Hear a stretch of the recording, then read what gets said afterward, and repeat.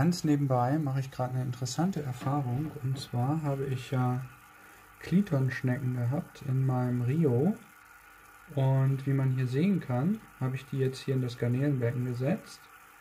Und sie ist jetzt tatsächlich aus dem Wasser rausgekrochen, aber nicht so, dass sie jetzt vertrocknen würde. Sie hat hier nämlich in dem Becken die äh, Möglichkeit, in diesen Bachlauf, wo übrigens jetzt gerade auch ein paar Garnelen drin laufen, äh, ja, einfach drin rumzuklettern, wie sie möchte, ohne auszutrocknen. Und ich finde das gerade spannend, dass sie jetzt außerhalb des Wassers sitzt. Ähm, Habe ich so auch noch nicht beobachtet. Also auch dieses Aquarium gibt es immer noch.